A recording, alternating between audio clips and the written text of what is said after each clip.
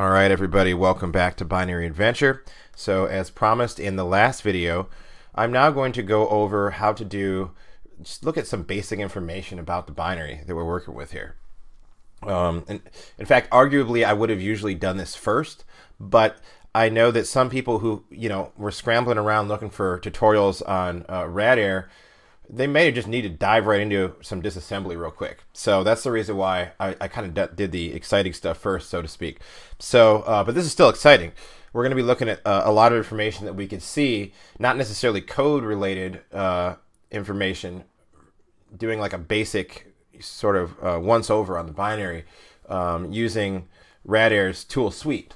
So, for example, um, some of you, if you've been, if you've ever done any uh, Windows analysis, may be familiar with a tool called PE Studio, and it's used by a lot of malware researchers uh, to see things like the imports, the exports, uh, you know, the the the architecture, the binary, things like that. So we already covered imports and exports in the last videos, but uh, let's just see what else we can find out about the binary.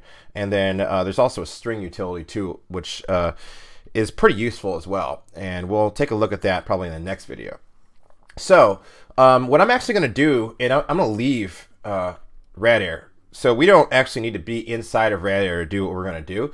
Um, you can do it from inside Radare using those I commands, but I'm going to go ahead and leave Radare. So I'm going to hit Q, uh, hit Q again, and then type Q, and I'm going to exit. So we're out of Radare now. And um, we're going to look at that letter frequencies program once again, but this time we're going to use a program called uh, uh Rabin2, or uh, Radare binary 2, basically, right? And uh, we're going to run that program.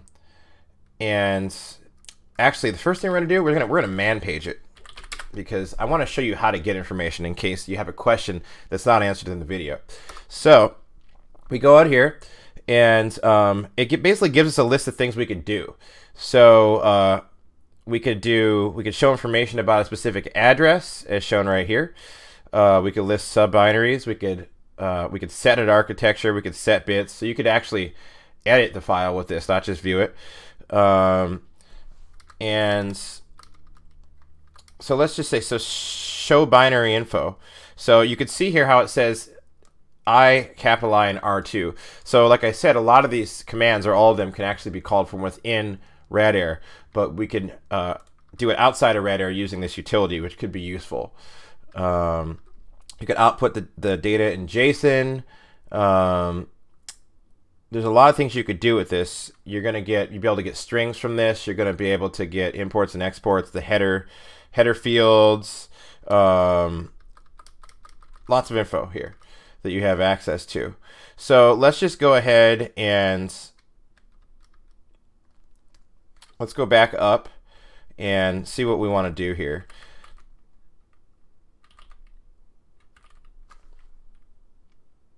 So we're going to do dash capital I for show binary info first. Okay. So we're going to do rabin2 dash capital I and then letter frequencies. Okay. Check this out. So um, architecture is x86. The size is uh, 11,004 bytes. Binary type ELF, 64 bit uh, has a stack canary, so this is useful for security analysis, right? Um, ELF64 is the class, um, and then we have it's little endian. The language uh, it detected was C that was used to program this binary. Um, here we have the machine. We have operating system for Linux. NX true, another very useful thing for security. Uh, you know, non a non-executable stack is set. Um, and then PIC is also true, position independent code. So um, it'll load and randomize the uh, base address, right? Um, so th those are all very useful things to know doing security research because maybe we want to change some of these things. Maybe we want to turn NX off or you want to turn PIC off or something like that. So you can get that general information um, by just doing that. So let's just do RABin2 without anything passed and see what happens. Um, so what it does is it just gives us a help. Um, let's do, see what else we want to do here from our menu. let's do, so you can get the address of main here. you can uh, so if this was C++, you could do look at uh, constructors and destructors. You could look at classes. Let's look at the header. Let's let's look at the header fields. Okay, so um, the header fields is going to be an abbreviated version of what like uh, you know a header parsing program like 010 Editor's templates will do, or uh, again like PE Studio or something will parse out uh, you know uh, PE file headers on Windows, this will do the same thing. Uh, so let's do rabin dash h and then letter frequencies. So it's giving us the version, the entry point address. So let's do dash m to get the start address of main. So that's the start address of main right there. And then I believe this thing can also just dump strings from the binary too. Um, I'm gonna go ahead and guess that it's Z. We'll see what happens. uh, okay, so that's probably like the string count or something. Let me try lowercase z. So there we go. So this this dumped the strings from the data section only, data sections. So let's see if I do, see what happens if I do ZZ. Okay, so it is hyphen ZZ. So it's basically the same command you would use in radare, but it's outside of radare. And this gives us all the strings in the binary. Okay. So if you just want to do some basic recon on this thing, that's one way to do it. Now, the second thing I'm going to show you, the second utility that I'm going to show you is called rafind2. So we're going to do man rafind2. And uh, what this thing does is it fight it finds byte patterns in files, but it also essentially uh, it'll allow you to search for strings. So let's say uh, a use case for this is you just wrote a program or your company wrote a program and you are trying to see which strings you guys have left in your program. Um, did you leave secrets in there? Did you leave uh, keys you shouldn't have left in there? Do you want to um, see what a reverse engineer can find out about your program? um, by running strings on it. So the reason why this is useful is because um, if you just try to grep something, um, you're not going to get all the strings in a binary file that you would like. So um, just as a, as a practical example here, I'm going to clear the screen. I could do uh, grep dot slash uh, letter frequencies. I can't remember if when you do it like this, you have to put the term after. Um, okay, so the term goes before. Right, so the word test doesn't appear in there. Um, so printf does appear in there. There is a printf in there, but it's not really. It, this is grep is not really made to search through binary files. So the good thing about uh, find is is that it's it's made to search through binary files. Um, and so it does a better job at locating things. Now, what you would usually want to do um, inside of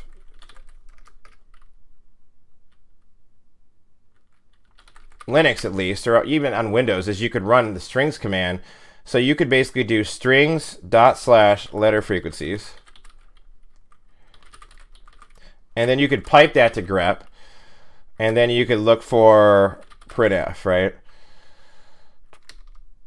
And now it's going to show you that the, the printf. So maybe you want to look for secret. Secret. There is no secret in there, by the way. But um, so that's useful, but I believe by default strings is only going to find you ASCII strings. Um, and uh, this rafind has a lot more customizations you can make. And additionally, rafind is probably better to use if you need to to analyze a whole bunch of different files. Just run them through rafind rather than having to run it through uh, several different programs like this.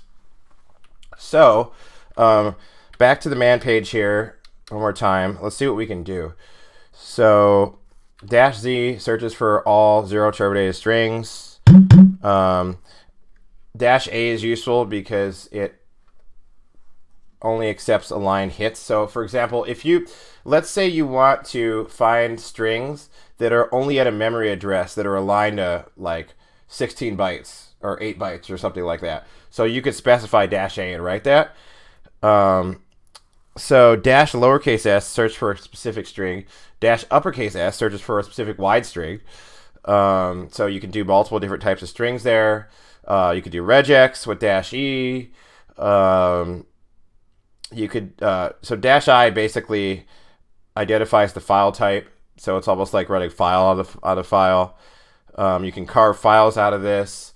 You can um, you could basically do a from and to address. So you could pick uh, you could pick specific sections of a binary to search through rather than through the entire binary, even though it does the whole binary by default. Um, so there's a lot of stuff you could do, but let's just let's just go as and uh, do rafind2 dash lowercase s f dot slash letter uh, frequencies. So what it does is it spits out the addresses of uh, where those things are. So now you could go into like Radare and look at these addresses and you'd see where it was. Um, let's look at, let's see if we can find anything else. No glibc. There's libc though. So lib libc occurs at these specific addresses. And what you could do is you could do a little bit of command line foo and um, the creator of uh, Radare wrote a little article that shows you how you could basically just use bash scripting and write a for loop um, and loop through every single one of these addresses and then use the uh, the Radare API or the, the command interface basically and essentially display everything too and get like a hex view. Um, in fact, I'll see if I can. I actually have the command here that I could show you um, really quick to how, how, how you could do that. Just to give you a little bonus here. So I'm going to start up Vim real quick, and then I'm just going to paste. Uh, oops, not what I want to do. Okay, I want to paste it here. So that you with a command simple as this. Um, so let's say you wanted to analyze uh, bin ls. You know, you basically whatever binary you want to put whatever binary you try to search. So in our case, this would be letter frequencies. So then you're just going to say for address in rafind dash S, whatever you're looking for. So in our case, it would be like, you know, libc. Um, then it is going to uh, run that against our binary. And then it's going to send that data to Radare2 and it's going to tell it to out, give us an output of hex basically. And when this is done, what happens is is it, it gets displayed all nicely um, in your terminal, and it shows you not only where the data is, but it actually shows you the data. So um, if you want this, I'll put the link in the description. Uh, it's pretty pretty straightforward. So I'm going to go ahead and um, exit out of this now without saving. And so let's do uh, let's do a search now for. I don't think I have any wide strings in here, but we'll just do a, a wide string search as well. Yeah, I don't have any wide strings for that. But so this is really good for basically searching through binaries, looking for specific strings, looking for regex, trying to find any secrets or any other information that you may have left, uh, you know, accidentally left inside of the binary. So you could actually, uh, I think you can get a list of strings from this too, but you could also get a list of strings from the previous program. So there are some overlaps between some of these utilities. And the idea is that you can do uh, most or all of these things inside of Radare as well. Um, these are basically individual front ends to the different libraries that Radare uses uh, in its main you know program. So, so that's what I wanted to show you today. Um, and let me take a look at what's going on next here. Um, so the next thing we'll do is talk about patching uh, a binary. So uh, we'll go back into main Radare and we'll look at how to do that. And then uh, I'll also show you how to do to parse a header in Radare, which is actually pretty cool to do. So um, that will essentially, uh, I'll show you right now actually, because it's kind of related here. So what I'm going to do is do R2 dash NN dot slash letter frequencies, and then uh, you do dash that in because what that does is it basically loads up these uh, header structures and applies them to the file. And so what I mean by that is now if we hit Shift V and enter back into our visual mode and we go to visual mode here, you can see that uh, there's the ELF header here and the ELF P header. So that basically parsed that data for us. So I'm going to hit Q to go back um, now. And then um, to in order to actually look at these headers, like you might do like a hex editor, like O and O editor or something, um, you could actually use the pf command. So it's so if you do pf dot, see it is showing me some of these that are available. And then what I can do here, see there's the elf uh, sh uh, elf s header, p header, and then uh, the actual elf header here. So and it shows you like which members are actually available. So if you want to actually parse that out so that it looks nicer, we could do pf.elf header and then at elf header. So if you, if you think about what's going on here, um, it's basically parsing the format, um, you know, with this struct, the elf header struct, at this memory address. And so if we hit enter here, there you go. You have a nice clean looking uh, version of those items from the elf header. So again, if I go back to visual mode and take a look at what's going on here, um, you can see that this is the very beginning of the file. The first thing that's there, obviously, is the elf header. And so when we're saying at elf header, we're saying at th this symbol right here. So, um, so that's all for this video. In the next video, um, I will cover some of that other stuff uh, back in uh, Radare. We're going to start working with um, patching binaries. So thanks for watching, and if you like this, don't forget to subscribe.